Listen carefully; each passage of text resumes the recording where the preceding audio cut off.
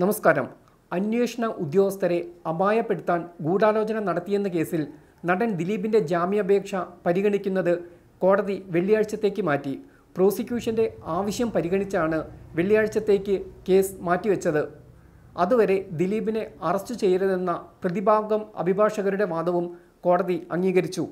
ദിലീപിന്റെ ജാമ്യാപേക്ഷയിൽ വിശദമായ എതിർ സത്യവാങ്മൂലം നൽകേണ്ടതുണ്ടെന്നാണ് പ്രോസിക്യൂഷൻ കോടതിയെ അറിയിച്ചത്. അതിനാൽ ജാമ്യാപേക്ഷ പരിഗണിക്കുന്നത് മാറ്റിവെക്കണമെന്നും ആവശ്യപ്പെടുകയായിരുന്നു.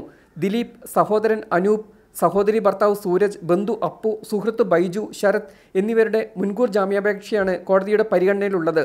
നടിയെ ആക്രമിച്ച കേസിലെ അന്വേഷണ ഉദ്യോഗസ്ഥരെ അപായപ്പെടുത്താൻ ദിലീപും ബന്ധുക്കളും സുഹൃത്തുക്കളും ഗൂഢാലോചന നടത്തിയെന്ന സംവിധായകൻ ബാലചന്ദ്രകുമാറിന്റെ വെളിപ്പെടുത്തലാണ് കേസിന് ആധാരം.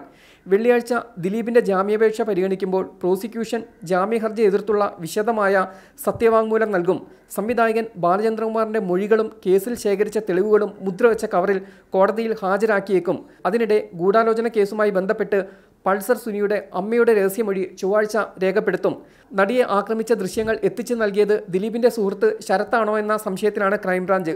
ശരത്തിന്റെ ശബ്ദ സാമ്പിൾ ക്രൈംബ്രാഞ്ച് പരിശോധിക്കുന്നുണ്ട്. ശരത്തിന്റെയും ദിലീപിന്റെ സഹോദരി ഭർത്താവ് സൂരജിന്റെയും വീടുകളിൽ പോലീസ് റെയ്ഡ് നടത്തിയിട്ടുണ്ട്. നടിയെ ആക്രമിച്ചതിലും അന്വേഷണ സംഘത്തെ അപായപ്പെടുത്താൻ ഗൂഢാലോചന നടത്തിയ കേസിലും നിർണായകമാണ് വി പങ്കാളിത്തം. ദിലീപുമായി അടുത്ത ബന്ധമുള്ളവരെ കേന്ദ്രീകരിച്ചായിരുന്നു അന്വേഷണം. കോട്ടയം സ്വദേശിയായ മെഹബൂബ് ഈ ആരോപണം തള്ളിയിരുന്നു. ഇതിനു പിന്നാലെയാണ് ദിലീപിന്റെ സുഹൃത്തായ ശരത്തിലേക്ക് അന്വേഷണം നീണ്ടത്.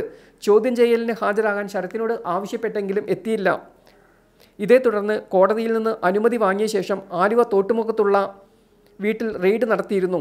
ആറ് മണിക്കൂറാണ് റെയ്ഡ് നീണ്ടത്. ഈ സമയം ശരത്ത് വീട്ടിലുണ്ടായിരുന്നില്ല. ശരത്ത് ഒളിവിലാണെന്നാണ് അന്വേഷണ സംഘം വ്യക്തമാക്കുന്നത്. വി ഐ പിയുടെ ശബ്ദം റെക്കോർഡ് ചെയ്ത് സംവിധായകൻ ബാലചന്ദ്രകുമാർ ക്രൈംബ്രാഞ്ചിന് കൈമാറിയിരുന്നു.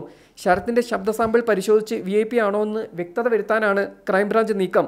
ചോദ്യം ചെയ്യലിന് ഹാജരാകാൻ നോട്ടീസ് നൽകിയതിന് പിന്നാലെ മുൻകൂർ ജാമ്യാപേക്ഷയുമായി ശരത് കോടതിയെ സമീപിച്ചിട്ടുണ്ട്.